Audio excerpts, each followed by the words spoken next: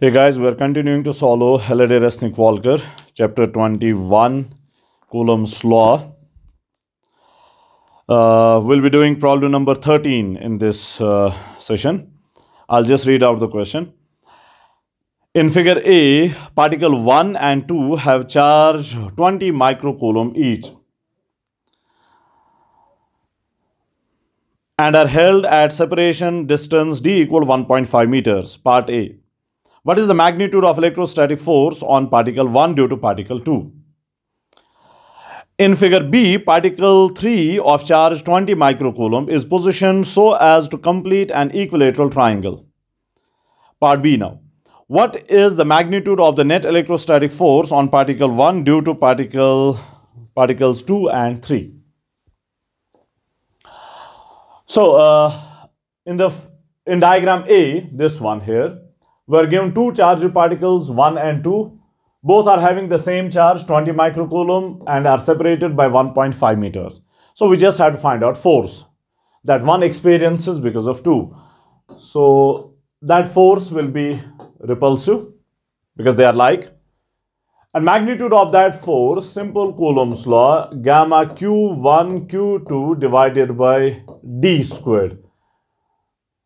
F12 is equal to gamma is 9 into 10 to the power 9. Q1 and Q2 both are 20 microcoulomb. So 20 into 10 to the power minus 6 square. Both of them are same. So I'm writing square divided by d squared. d is 1.5 square. Okay, 1.5 square. Now solving this uh, F12 comes out to be 1.6 newtons okay? 1.6 newtons. 1.6 newtons. So this is force that particle 1 experiences because of 2 okay? 1 experiences because of 2 in this situation. Now a third particle is added to the group. Third particle is added in such a way that it forms an equilateral triangle. So this is D, this is D, this was already D, so these two are uh, also D. And third particle has the same charge of 20 microcoulomb.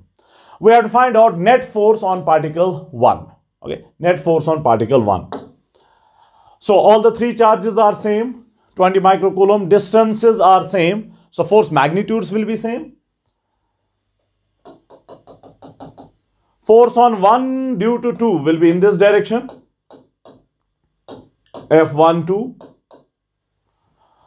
force on 1 due to 3 in this direction F13 now the magnitudes of these two forces are same because charge values are same q and q here q and q here. Distances are same d here d here. So magnitudes are same. So f12 is equal to f13 i'll just call them f F13 is equal to F and this we just found is 1.6 newtons in the previous part. 1.6 newtons. And now we have to find out net force of uh, uh, uh, these two forces. Now this is an equilateral triangle so this angle is 60 degrees. Means this angle is also 60 degrees vertically opposite angles.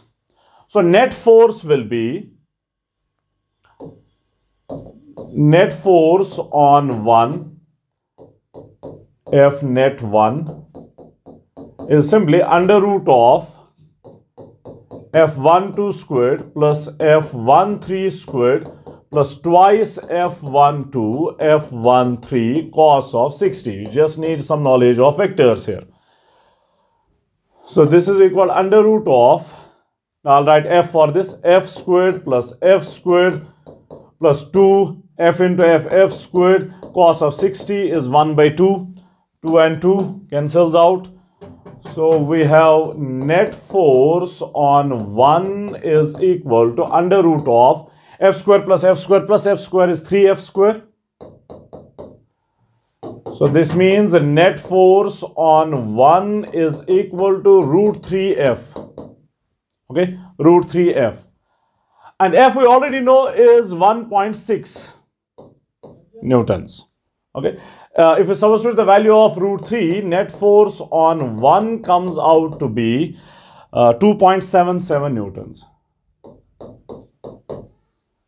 2.77 newtons. Okay? 2.77 newtons. So this is the net force on particle 3 in the second situation. In the second first situation it has only one force which was 1.6 newtons and this one here that net force will be somewhere in this direction and which happens to be 2.77 newtons. Okay 2.77 newtons. Fine